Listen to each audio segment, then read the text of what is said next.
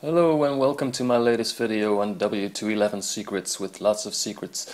A few months ago I told you about checking the battery status by pressing the reset button three times. Well you can do a lot more with that. Use these buttons to scroll back and forward while keeping the menu unlocked.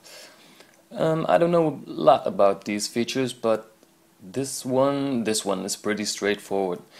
It supposedly makes your car a bit quicker off the line, which I haven't tried because it's not my car. This is the vehicle identification number, which I blurred because it's not my car, and this I don't know about.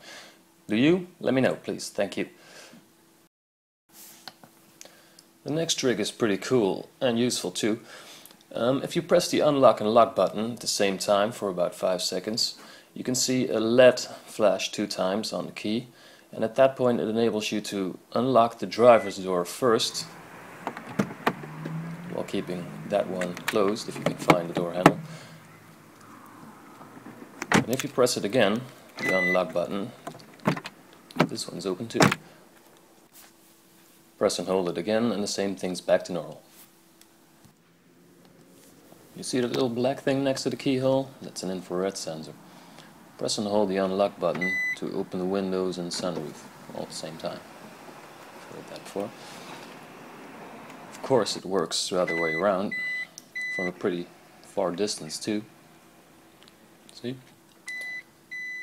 Pretty cool. The last trick is probably the coolest because it's so easy to do.